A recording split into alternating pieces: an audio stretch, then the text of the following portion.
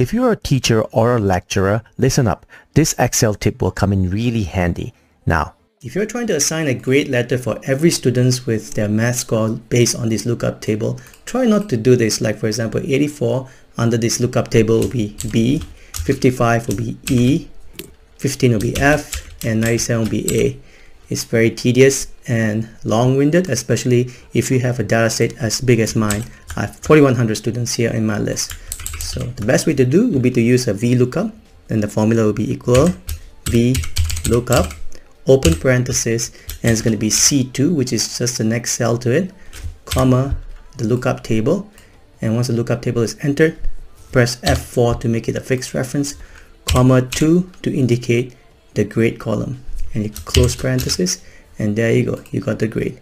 And you double click this square box to apply to all the students in your class all 4100 of them